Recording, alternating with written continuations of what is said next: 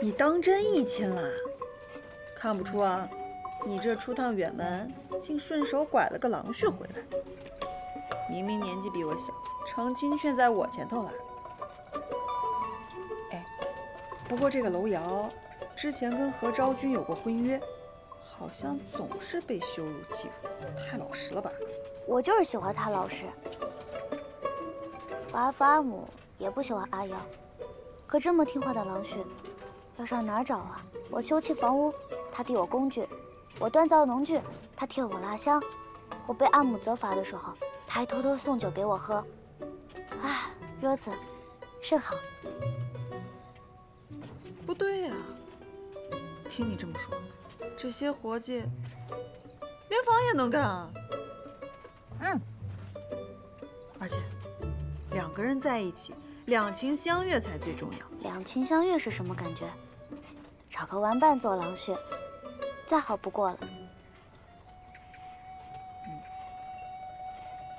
嗯，也有道理。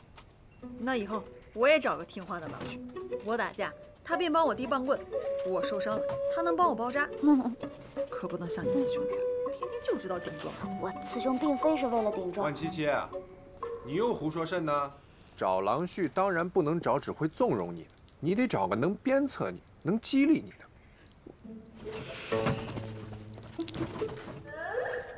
我是找夫婿，又不是找夫子，我干嘛找一个这样赌心的人来糟蹋自己？少公，你不是会占卜算命吗？帮我算一算，看看未来夫君长什么样。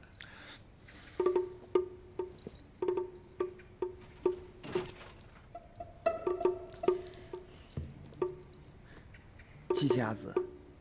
你的未来郎婿远在天边，近在眼前。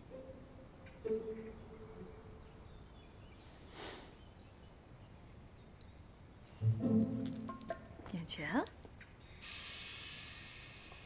哪有啊？你算的准不准啊？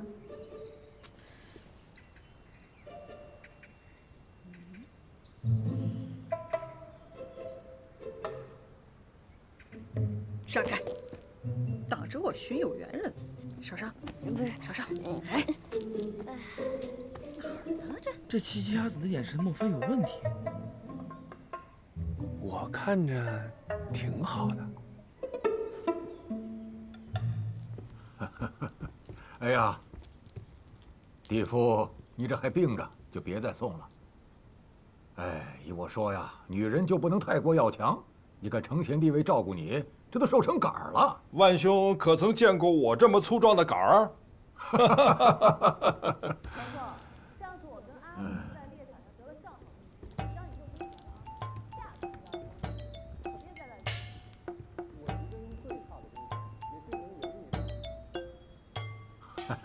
你我说七七之前怎么都不肯把陆金给我，原来是要送给你家小子。还是七七有眼光。知道陆金最配我们程家儿郎。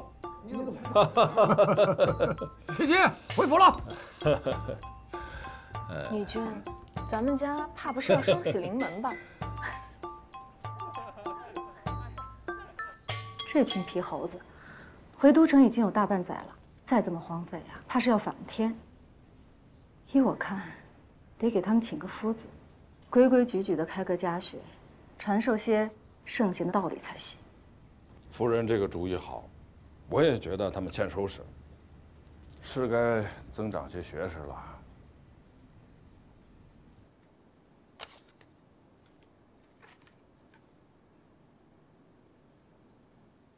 程家要开家学，想去白鹿山求学子施教，这程家还真是舍近求远啊！普天之下。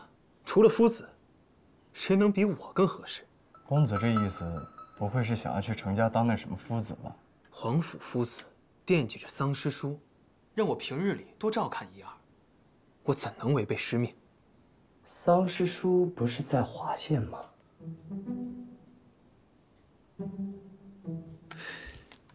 桑师叔最喜欢的，便是他那不着调的侄女程少商。白鹿山此番来信，是想我推荐师兄弟。不如我自荐，替桑师叔分忧，好好调教一下程少商。免得他嫁人前懵懂莽撞惹人嫌。这程家是替家中的儿郎招夫子，可不是替女眷招女婿啊。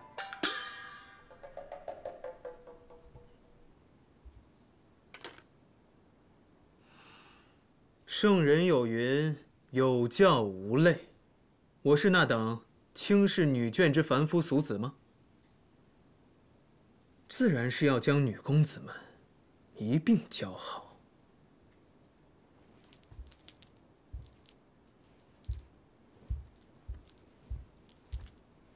那是轻视女眷的事儿吗？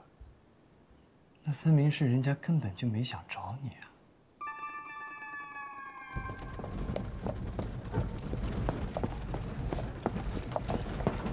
停车！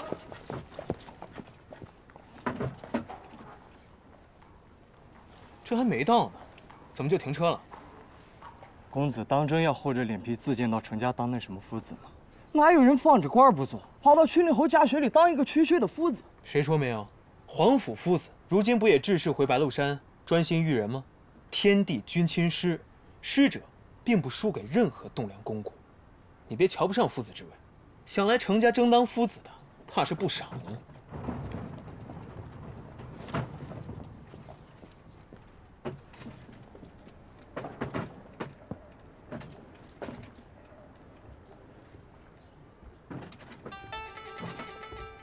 这娄公子今日穿戴，当真精神。怎么还有娄家众夫人随行？想必不是来争夫子，怕是来会亲家吧？公子，既然城府今日有贵客，不如咱们改日再来。回府。公子终于想通了。谁想通了？我要回去换一身比楼瑶更精神的长长，万不可在未来学子面前失了气势。啊！